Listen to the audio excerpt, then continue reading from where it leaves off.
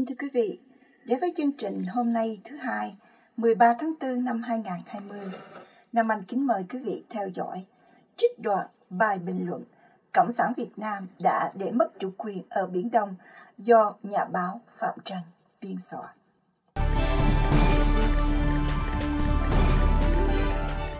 Lại có thêm bằng chứng Đảng Cầm quyền Cộng sản Việt Nam đã để mất chủ quyền ở Biển Đông, nhưng Tổng bí thư Chủ tịch nước Nguyễn Phú Trọng vẫn hên hoàng, độc lập, chủ quyền và toàn vẹn lãnh thổ được giữ vững. Trong khi đó, dù do sự việc tàu tuần tra Trung Cộng đâm chìm tàu cá Việt Nam đã rõ như ban ngày, nhưng vẫn có báo chí dám coi tai nạn do tàu nước ngoài gây ra. Việc mới nhất xảy ra vào khoảng 3 giờ ngày 2 tháng 4 năm 2020 khi mà tàu cá Quảng Ngãi mang số hiệu QNG 90617TS của ông Trần Hồng Thọ, ngụ xã Bình Châu, huyện Bình Sơn, Quảng Ngãi, đang hoạt động tại vùng biên Hoàng Sa thì đã bị tàu Trung Cộng đâm chìm. Rất may toàn bộ 8 thuyền viên thoát chết và được trả tự do sau khi bị đưa về đảo Phú Lâm, thủ phủ của Hoàng Sa để điều tra. Tàu nước ngoài trước sau vẫn chỉ có tàu tuần tra Trung Cộng đã đâm chìm tàu cá của ông Trần Hồng Thọ. Vậy mà báo lao động vẫn chỉ dám đưa tin tàu của ông Thọ bị tàu nước ngoài đâm chìm. Trong khi báo Thanh niên cũng viết tối 2 tháng 4, một lãnh đạo của Ủy ban Nhân dân tỉnh Quảng Ngãi xác nhận với thanh niên có nhận được thông báo của ngư dân trên địa bàn tỉnh về việc tàu cá bị tàu nước ngoài đâm chìm khi đánh cá ở đảo Phú Lâm. Tại sao hai báo lao động và thanh niên lại vô trách nhiệm như thế? Ai đã ra lệnh cho hai báo này không được viết đích danh tàu Trung Cộng? Đã có một thời gian dài, trong nhiều năm, báo đài nhà nước Cộng sản Việt Nam không dám gọi đích danh lính hay tàu Trung Cộng đã tấn công, cướp của và giết người dân Việt Nam hành nghề ở Biển Đông, theo lệnh của ban tuyên giáo đăng. Báo đài chỉ dám gọi tàu Trung Cộng là tàu lạ, tàu nước ngoài và gọi lính Trung Cộng là lực lượng võ trang nước ngoài. Thậm chí còn có nhiều viên chức đảng, nhà nước, đại biểu quốc hội và tướng lãnh cũng tránh nói tên Trung Cộng vì sợ phạm húy mỗi khi phải nói đến những hành động sai trái của Bắc Kinh. Phải chăng tư duy lệ thuộc, sợ hãi Trung Cộng của lãnh đạo đã lây truyền sang dân khiến cho việc đụng đến tên Trung Cộng là bị coi là nhạy cảm. Bằng chứng này cũng đã xảy ra trong bài báo của trang điện tử tiếng nói nước Nga là sputniknews.com khi báo này đưa tin về tàu cá Quảng Ngãi ngày 2 tháng 4 2020. Trang này viết lúc 6 giờ ngày 2 tháng 4 bà Nguyễn Thị Chi, vợ ngư dân Trần Hồng Thọ, nhận được điện thoại của bà Nguyễn Thị Kim Hồng, sinh năm 1983 ở thôn Châu Thuận Biên, xã Bình Châu, báo là phương tiện của ngư dân Trần Hồng Thọ bị tàu nước ngoài tông chìm ở đảo Phú Lâm, quần đảo Hoàng Sa, tại tọa độ 16042N 112025 44E, văn bản của ban chỉ huy phòng chống thiên tai và tìm kiếm cứu nạn tỉnh Quảng Ngãi cho hay. Đôi co việc tàu, nhưng lần này thì người phát ngôn Bộ Ngoại giao Trung Cộng Hoa Xuân Oánh đã chối biến trách nhiệm của tàu Trung Cộng trong cuộc họp báo ngày 3 tháng 4 2020, bà này cho biết vào sáng ngày 2 tháng 4, một tàu hải cảnh Trung Cộng trong cuộc điều tra định kỳ phát hiện tàu cá Việt Nam đánh bắt cá bất hợp pháp ở ngoài khơi quần đảo Tây Sa, Hoàng Sa và ngay lập tức kêu gọi con tàu rời đi. Tàu cá Việt Nam từ chối rời đi và bất ngờ chuyển hướng về phía tàu Trung Cộng. Mặc dù tàu hải cảng của Trung Cộng đã cố hết sức để tránh, nhưng vẫn bị tàu cá Việt Nam đâm vào mũi tàu. Tàu cá Việt Nam sau đó bị ngập nước và chìm. Tàu hải cảng Trung Cộng đã ngay lập tức thực hiện chiến dịch giải cứu và cả 8 ngư dân Việt Nam đã được giải cứu mà không có bất cứ thương tích nào. Tàu hải cảng Trung Cộng sau đó đã để ngư dân Việt Nam rời đi sau khi hoàn thành thủ tục điều tra và thu thập bằng chứng cần thiết. Nhiều báo Việt Nam chỉ trích bà Oánh đã thay trắng đổi đen. Ngược lại, người phát ngôn Bộ Ngoại giao Việt Nam Lê Thị Thu Hằng chỉ biết nói nhẹ nhàng. Theo tin từ các cơ quan chức năng của Việt Nam, tàu cá QN 90617TS và 8 ngư dân Việt Nam đang hoạt động bình thường tại vùng biên thuộc quần đảo Hoàng Sa của Việt Nam thì bị tàu hải cảng Trung Cộng ngăn cản và đâm chìm. Như đã nhiều lần khẳng định, Việt Nam có đầy đủ bằng chứng lịch sử và cơ sở pháp lý khẳng định chủ quyền của Việt Nam đối với quần đảo Hoàng Sa và quần đảo Trường Sa phù hợp với luật pháp quốc tế. Hành động trên của tàu công vụ Trung Cộng đã xâm phạm chủ quyền Việt Nam đối với quần đảo Hoàng Sa, gây thiệt hại về tài sản, đe dọa an toàn, tính mạng và lợi ích hợp pháp của người dân Việt Nam, đi ngược lại với nhận thức chung của lãnh đạo cấp cao của hai nước về việc đối xử nhân đạo với ngư dân và thỏa thuận về những nguyên tắc cơ bản chỉ đạo giải quyết vấn đề trên biển Việt Nam Trung Cộng trái với tinh thần tuyên bố ứng xử của các bên ở Biển Đông, gây phức tạp tình hình và không có lợi cho quan hệ hai nước, cũng như việc duy trì hòa bình, ổn định và hợp tác ở Biển Đông. Người phát ngôn Lê Thị Thu Hằng cho biết, đại diện Bộ Ngoại giao ngày 3 tháng 4 đã giao thiệp với đại diện Đại sứ quán Trung Quốc và trao công hàm phản đối, yêu cầu phía Trung Quốc điều tra, làm rõ, xử lý nghiêm đối với nhân viên công vụ và tàu hải cảng Trung Quốc nêu trên không đủ để tái diễn những hành động tương tự, đồng thời bồi thường thỏa đáng các thiệt hại cho ngư dân Việt Nam. Nhưng có bao giờ ngư dân Việt Nam nhận được đồng bạc bồi thường nào chưa? Hay chờ được vạ thì má đã sưng như bấy lâu nay? Tàu cảnh sát biên Việt Nam ở đâu? Phản ứng như những con chi chi quen thuộc của Bộ Ngoại giao Việt Nam không làm ai ngạc nhiên, vì chỉ là những câu chữ vuốt đuôi đã được nói đi lặp lại nhiều lần. Có đáng quan tâm chăng là lời than phiền của ông Võ Duy Khánh, một ngư dân trên chiếc tàu bị chìm ở biên Hoàng Sa ngày 2 tháng 4, 2020, đã nói với BBC tiếng Việt rằng lúc xảy ra đụng độ, tôi chỉ thấy tàu Trung Cộng chứ không thấy lực lượng chức năng Việt Nam. Đây là câu nói chua chát vì đã nói lên sự thật phủ phàng rằng lực lượng của Việt Nam gồm hải quân, cảnh sát biên và kiểm ngư đã hoàn toàn vô dụng và bất lực trước hành động ngang ngược của Trung Cộng ở Biển Đông. Trong thực tế thì Việt Nam Cộng sản đã mất quyền kiểm soát quần đảo Hoàng Sa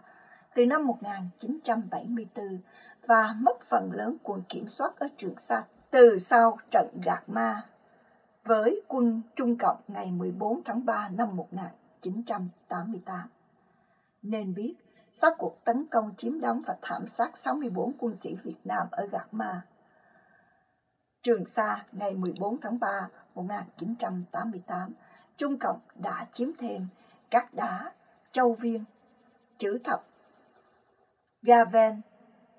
Tư Nghĩa, Vành Khanh và Subi.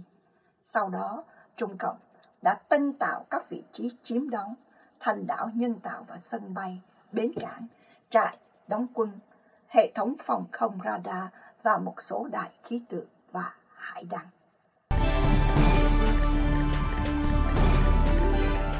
Trung Cộng bành trướng ở Trường Sa, đảng và nhà nước Cộng sản Việt Nam không những đã bất lực ngăn cản quân tàu tự do tuần hành an ninh ở Trường Sa, mà còn không dám ngăn cản Trung Cộng tái tạo và xây dựng các bãi đá thành các căn cứ quân sự ở Trường Sa. Mới đây, vào tháng 3 năm 2020, Tân Hoa Xã cho biết Trung Cộng đã xây dựng thêm hai trạm nghiên cứu mới tại đá chữ thập và đá Subi. Ngày 26 tháng 3 năm 2020, người phát ngôn Bộ Ngoại giao Việt Nam Lê Thị Thu Hằng nói, như đã nhiều lần khẳng định Việt Nam có đầy đủ cơ sở pháp lý và bằng chứng lịch sử khẳng định chủ quyền của Việt Nam và hai quần đảo Hoàng Sa và Trường Sa phù hợp với luật pháp quốc tế. Theo đó, mọi hoạt động tại hai quần đảo này phải có sự cho phép của Việt Nam. Thông tin của Bộ Ngoại giao Cộng sản Việt Nam. Các nguồn tin phương Tây cho hay là quân đội Trung Cộng cũng đã xây dựng một số hệ thống giám sát trên đá chữ thập nhằm phục vụ bảo tồn hệ sinh thái rạn san hô, hệ sinh thái thực vật và nước ngọt. Đối với đá Subi, trạm nghiên cứu đã hoàn thành thiết kế dự án của hệ thống quan sát cho mục đích phòng chống thảm họa địa chất và bảo tồn nước ngọt. Vị trí của chữ thập đã biến thành điểm cầu nối chiến lược quan trọng giữa tư chính và căn cứ hải quân và tàu ngầm có trung cộng ở đảo Hải Nam ở phía bắc trong khoảng cách ngót 2.000 cây số. Vậy Trung Cộng đã biến đá chữ thập thành căn cứ quân sự như thế nào? Theo báo Thanh niên, tính đến tháng 5 năm 2015, đảo Nhân Tạo đã có diện tích khoảng 283.3 hecta với chiều dài khoảng 3.700 thước, rộng 1.100 thước, nơi hẹp nhất là 60 thước và hồ nhân tạo ở phía đông bắc diện tích khoảng 52 hecta với lượt dẫn vào đài khoảng 700 thước, rộng 270 cộng 300 thước. Đến nay, căn cứ chữ thập đã hoàn tất với cụm 7 nhà lớn ở khu vực trung tâm, cao 5 tới 6 tầng và 30 công trình nhà trung bình nhỏ khác, một đường băng sân bay dài hơn 3.000 thước, rộng 50 thước, phục vụ các loại máy bay vận tải dân dụng, quân sự, du lịch loại nhỏ, cất hạ cánh các đài chỉ huy không lưu, tháp, radar không lưu và khoảng 30 nhà chứa máy bay dọc đường băng. Do là căn cứ lớn nhất và quan trọng nhất ở Trường Sa, nên phía Trung Cộng triển khai nhiều hệ thống phương tiện bảo vệ. Các tàu thuyền nào vào gần đá chữ thập 10, hai hải lý đều bị xua đuổi, ngăn cản quyết liệt, theo báo Thanh niên ngày 13 tháng 6 năm 2019. Trong khi đó, theo Bách Khoa Toàn thân mở, thì từ năm 2014, Trung Cộng bắt đầu cải tạo, mở rộng đá chữ thập thành đảo nhân tạo lớn nhất quần đảo Trường Sa có diện tích 2.74 km vuông tính đến khoảng tháng 7 2015 với tổng kinh phí hơn 73 tỷ nhân dân tệ, tức khoảng 11.5 tỷ Mỹ Kim. Bách Khoa Toàn Thư Mở viết thêm, đặc biệt là việc xây dựng một đường băng dài 3.125 thước và rộng 60 thước là đường băng duy nhất đủ lớn cho máy bay ném bom chiến lược tại Trường Sa, cho phép quân đội Trung Quốc bao quát không phận rộng lớn từ Tây Thái Bình Dương gồm cả Gam, nơi có các căn cứ của Mỹ, đến Ấn Độ Dương. Tư lệnh Bộ Chỉ huy Thái Bình Dương của Mỹ Pakov, Đô đốc Harry Harris cho biết hiện các phía đá ngầm mà Trung Cộng chiếm giữ và xây dựng trái phép ở Biển Đông nhìn giống hệt các căn cứ cho máy bay chiến đấu, máy bay ném bom, tàu và hoạt động dọn thám. Như vậy, rõ ràng Trung Cộng đã sử dụng chữ thập qua vụ tư chính như một phép thử cho khả năng quân sự đe dọa an ninh Biển Đông và riêng Việt Nam ở phía cực nam của hình lưỡi bò tự vệ của Bắc Kinh nhằm giành chủ quyền 90% của diện tích trên 3 triệu cây số vuông ở Biển Đông. Theo Bách Khoa Toàn Thương Mỹ, đá Subi là một trạm san hô vòng thuộc cụm thị tứ của quần đảo Trường Sa. Đá này nằm cách đảo thị tứ khoảng 26 cây số về phía tây nam. Đá Subi là đối tượng tranh chấp giữa Việt Nam, Đài Loan, Philippines và Trung Cộng. Trung Cộng đã kiểm soát rạn vòng này từ năm 1988 đến nay. Subi có chiều dài tính theo trục Đông Bắc Tây Nam là khoảng 5.7 cây số và nơi rộng nhất của vùng biên này là 3.7 cây số. Căn cứ theo tài liệu của CSIS ở Washington DC, báo Tuổi Trẻ Online đưa tin ngày 24 tháng 5 2018, ảnh chụp tháng 10 năm 2017 cho thấy các công trình trái phép Trung Cộng xây phía bắc đã Subi. Một là các kho chứa ngầm ở dưới lòng đất, hai là các cơ sở cảm biên và liên lạc, ba là cầu cảng di động dùng để bốc dỡ hàng hóa, bốn là trạm radar cao tầng, năm là một trong bốn công sự phòng thủ. Vị trí được cho là doanh trại của thủy quân lục chiến cộng Trung Cộng nằm sát ở khu vực số 2. Những công trình trên đá Subi thoạt đầu dễ khiến cho người ta nhầm lẫn đó là một thị trấn nhỏ trên đất liền. Những con đường nhỏ, sân thể thao và các tòa nhà kiểu dân sự đó sẽ sớm được lấp đầy bởi hàng trăm, thậm chí hàng ngàn lính thủy cung lục chiến Trung Cộng. Các chuyên gia phân tích cảnh báo. Trong khi đó, hãng tin Reuters dự đoán một trung tâm hành chính đã dàn hình thành trên đá Subi làm dấy lên suy đoán thực thể này sẽ sớm đón nhận các thành phần dân sự tới sinh sống. Tuổi trẻ viết tiếp rằng, theo dữ liệu từ Earthrise, một tổ chức phi chính phủ, Trung Cộng đã xây trái phép hơn 400 công trình kiên cố có trên đá Subi kể từ năm 2014.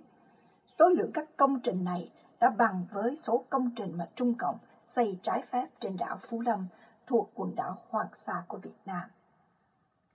Các chuyên gia Tây Phương nói thêm, Subi là thực thể nhân tạo lớn nhất trong bảy thực thể bị Trung Cộng chiếm đóng và xây dựng ở quần đảo Trường Sa. Cùng với đá Vành Khanh và đá Chữ Thập, đá Subi được xếp vào nhóm Tam Đại với đầy đủ các công trình như nhà chứa tên lửa, đường băng 3.000 thước, các nhà chứa máy bay cỡ lớn và những công trình theo dõi tàu bè, máy bay nước ngoài. Dữ liệu từ Earthrise cho thấy trên đá chữ thập và vành khoanh chỉ có khoảng 190 công trình và cấu trúc. Tổng cộng Trung Cộng đã xây hơn 1.600 công trình trên các thực thể mà nước này đã chiếm đóng ở hai quần đảo Trường Sa và Hoàng Sa. Đài CNBC chuyên môn về tài chính và thể thao của Mỹ ngày 2 tháng 5 2018 dẫn các nguồn tin tình báo cho biết các tên lửa, hành trình, chống hạm YG-12B và tên lửa đất đối không HQ-9B đã được Trung Cộng lắp đặt trên ba thực thể đá chữ thập Subi đá vận Khanh. Trung ương Đảng Cộng sản Việt Nam vẫn trơ ra nhìn. Trước những đe dọa quân sự nhãn tiền của Trung Cộng ở Biển Đông,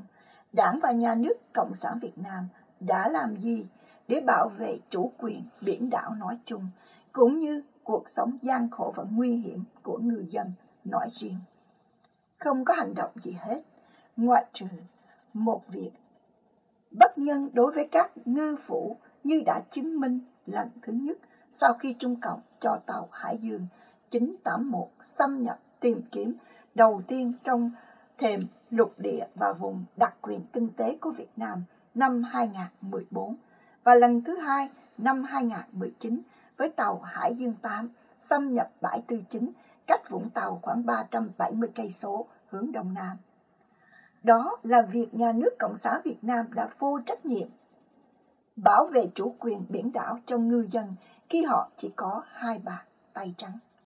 Cả hai lần, nhà nước đã trao cho ngư dân ít nhất mỗi chủ tàu một lá cờ đỏ sao vàng để treo trên cột cao của con thuyền khi ra khơi đánh bắt. Hành động này đối với dân và yêu nước, nhưng khi mà nhà nước không có lực lượng bảo vệ dân ra khơi đánh bắt mà để cho kẻ thù Trung Cộng mặc sức đe dọa và đàn áp ngư dân thì có phải là hành động đem con bỏ chợ hay trao trứng cho ác không? Những đơn vị có nhiệm vụ bảo vệ biển đảo như hải quân, cảnh sát biên, kiểm ngư, biên phòng, ven biển và không quân hãy tự đấm ngực hỏi mình đã làm gì để bảo vệ ngư dân. Các ông Nguyễn Phú Trọng, Chủ tịch Quốc hội bà Nguyễn Thị Kim Ngân, Thủ tướng Nguyễn Xuân Phúc và Bộ trưởng Quốc phòng Đại tướng Ngô Xuân Lịch đã làm gì để bảo vệ các thuyền đánh cá trên vùng biển đảo tổ tiên ta để lại.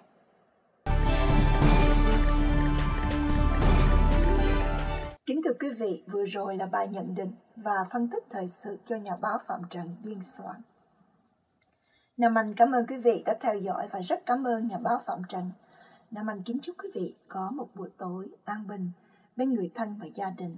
Mọi liên lạc với ban biên tập bản tin Hoa Thịnh Đốn xin email về Washington DC at sbtn.tv. Nam Anh xin kính chào và xin hẹn với quý vị vào lần tới.